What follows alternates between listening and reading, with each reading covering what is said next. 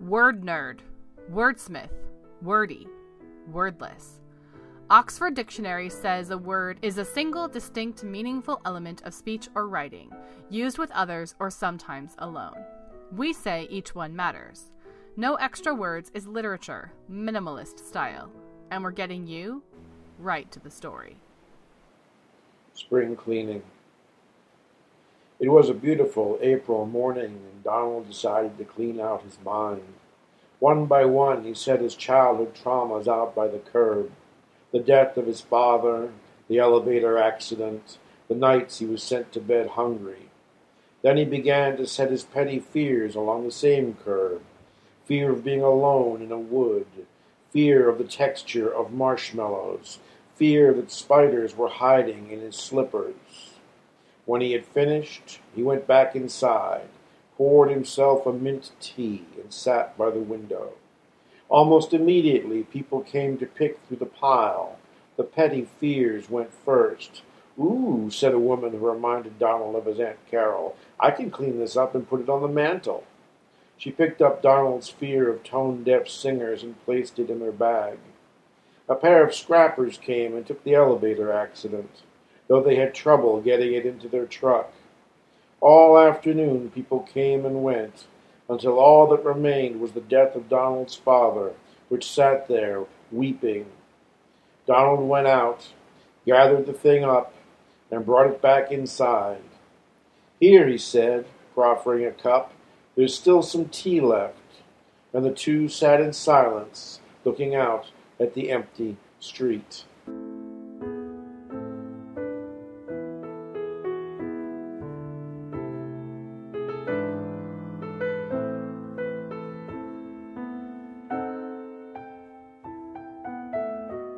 Hello there. Welcome to No Extra Words, the Flash Fiction Podcast. My name is Chris Baker Dersch. I'm your producer and editor.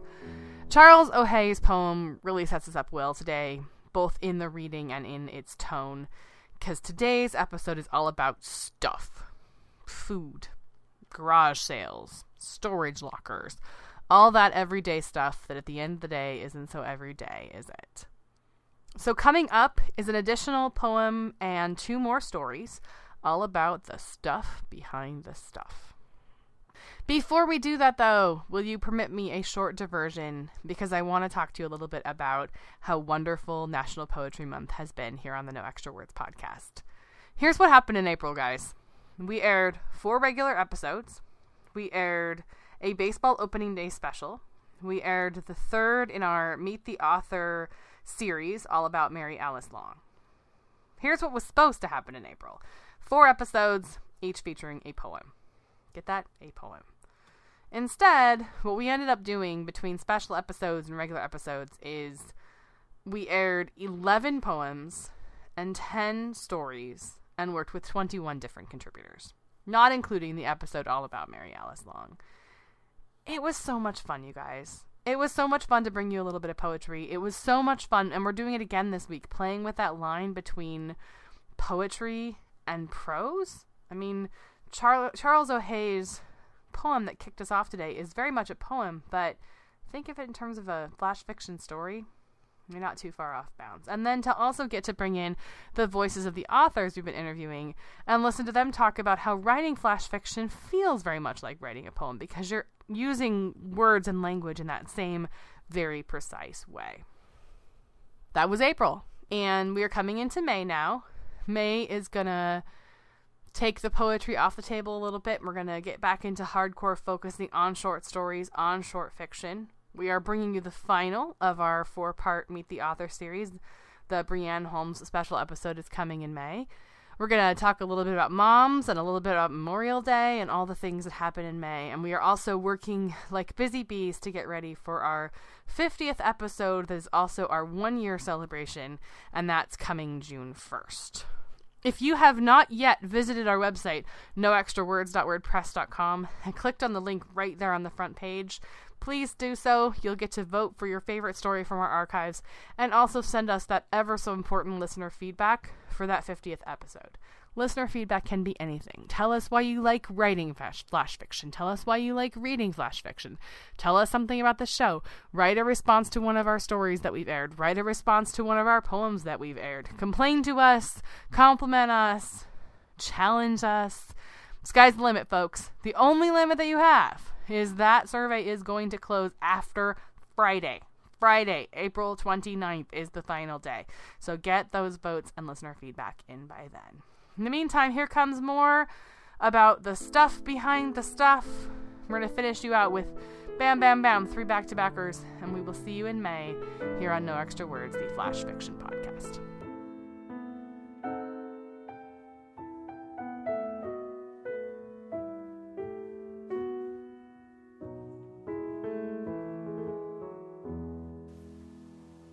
Storage. The memory of you was too big to stuff in the storage closet, too ungainly of a bulk to fit entirely among the winter clothes, though I tried. But well, I couldn't very well leave you in the middle of the living room, where I would have to walk around you every day to get to the kitchen, and guests might trip unexpectedly on your legs. Neither could I bring myself to throw you out. So I hacked you into smaller pieces wrapped and labeled into bags like chapters of gestures and glances, laughter and raw eyes, redistributed for easy storage, and tucked them wherever they would fit. Every once in a while, I find a piece of you in an upstairs cupboard or alongside unworn boots on my closet floor. Once I stumbled across the smell of your deodorant while looking for the good tablecloth, and another time I glimpsed that night in your car before letting the lid of the shoebox drop again and walking away.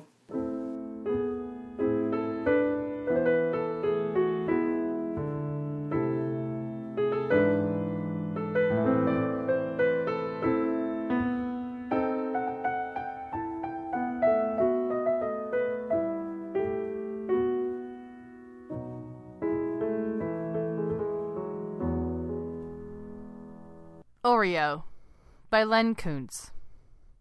All I do now is eat. There's nothing else that captivates me. I'm not choosy either. I'll put anything in my mouth.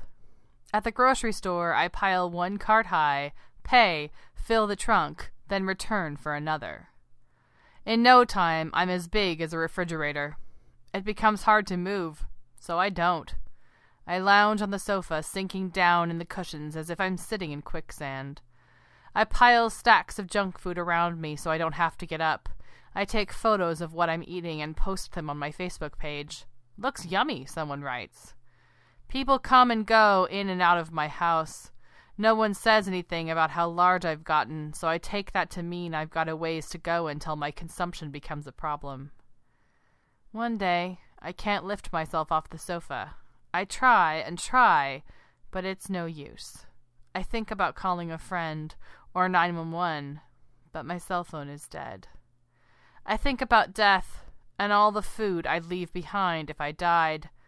I wonder how long I can go without food before dying, if I can get thin enough to raise myself from the couch. An uneaten double stuffed Oreo, round and layered like me, sits near my thigh, staring accusingly. To make him disappear, I eat him. He tastes gooey, soft, like a cloud, or maybe a bit like heaven.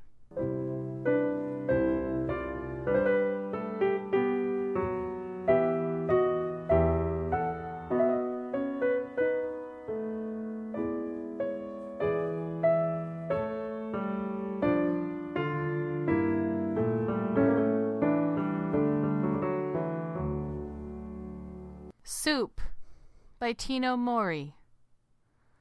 My mother always refused to make real soup while I was growing up. Too dangerous, she said, winding the can opener around the can of kidney beans. It's against the law, and for good reason. She did let me order certain soups at restaurants when my father got a promotion. She watched me slurp little spoonfuls of creamed tomato with her fingers clamped around the edges of the table. She'll be fine, my father would say, not looking up from his salad. They wouldn't serve a real soup here in a restaurant. They know better. They wouldn't want to be sued. My mother would have her steak folded up in aluminum foil to eat for breakfast. No matter how hungry she had been before, my mother's appetite was always gone when I announced my food choice. When I asked her why soup made her so anxious, she just shook her head. I think she hoped staring at me would deter my appetite, but soup was just too delightful, and the risk just enticed me more. When my father rose to department manager, I drank jambalaya.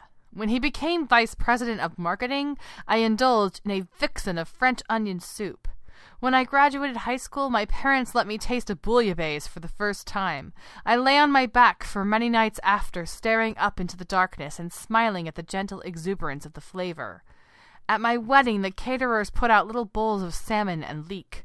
My husband loved it almost as much as I did, though he said he would have preferred whitefish. Even my mother ate some. She looked so lonely, and we both missed my father very much on that happy day. After the twins were born, my desire to return to the news agency had dimmed. I stacked up copies of The New Yorker and Sunset Magazine. I read Chekhov and O'Hara. I made mashed butternut squash, creamed peas, thick pastes of gooey sustenance. The twins grew into their teeth, grew into gnashing appetites. They wanted asparagus and beetroot, not chicken soup and beef stew. There were many arguments around the polished oak table. I shouted more there than anywhere else. My tastes changed too. I developed an appreciation for coffee during the custody trial, buying a French press to fill my new countertop. The caffeine did not affect me much. I just liked the way it settled on my tongue, hot and heavy. The bitterness was my favorite part. I ate frozen ravioli during my job search. I continued to eat the soggy, starchy packets while I pored over newsletter copy, trying to preserve the writer's ego without lying. I'd pry open a can of carrot soup whenever an episode of Full House comes on the television, rather than change the channel. I often wondered what sex with Bob Saget would be like. I had been at the marketing firm for three years and dabbling in online dating for the last two when I decided to make the soup. My boyfriend at the time was out of town, so I went to the store, bought a rotisserie chicken, several onions, carrot stalks of celery, and lots of garlic. Broth recipes, of course, were censored online, but I found an archaic cookbook at Bell's secondhand bookstore, which I shoplifted with a pounding heart. I knew what to do. I cut the tender meat away from the chicken bones, sealed it in glass Tupperware to eat with rice later. I took the bones and the gristle and all the rest, putting it in my iron pot. I poured three quarts of boiling water on the carcass, turned the heat to medium, and set the lid at a jaunty angle. I sliced the ten onions carefully, the heavy blade slicing the root and dried skin away. But I left the denuded onion tops, gathering them up in my hands and dropping them into the pot first. I diced four onions and added those too, but saved the rest for an onion soup one rainy day. I peeled the carrots lovingly, thinking of tumbling college afternoons, of hummus and picnic blankets. I chopped crisp coins from each root, tossed them under the lid, then ran the celery under cold water. The knife hit the board with a satisfying clump, and I poured the heap of celery bits into the broth. I stirred, resisting the glorious aroma. My forehead and neck were growing damp from condensation, but I couldn't open the blinds or windows, otherwise the smell might drift out to an upstanding neighbor. I would taste real soup today. The broth was slowly realizing itself. I could sense it. My cells were vibrating. Happy bubbles splashed over the onion fragments and the chicken bones. I wanted to keep cooking it, but instead I added salt. Just enough. It sat cooling for twenty long minutes before I ran the broth through a strainer and poured it back into the large pot. I skimmed away the fat, took a deep breath, and stared at the translucent miracle. My mind felt fuzzy from the smell. With trembling fingers, I scooped a cupful from the pot and sat down at the kitchen table. There were no chunks in this soup. It was not pureed. I was done with illusion and half truths and postmodernism. I wanted to drink the soup. The first sip burnt my tongue.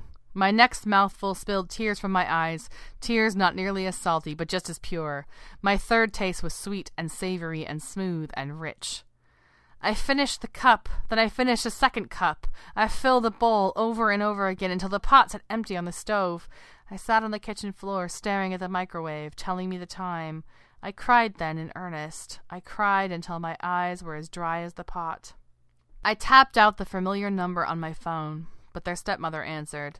She let me speak to her husband first, and he was startled by my words, by my incoherence. The twins were both entering the science fair. I lowered my head to my knees when they told me. It was past their bedtime. I hung up. I curled up in my bed that night, afraid I would not find any sleep. But sleep found me. My mouth still tingled. I had not brushed my teeth. Thanks for listening to the No Extra Words podcast. For more information on today's stories and contributors, or to learn how to submit your own work, please visit us at noextrawords.wordpress.com. The best support you can give the show is to recommend us to your family and friends. See you next time.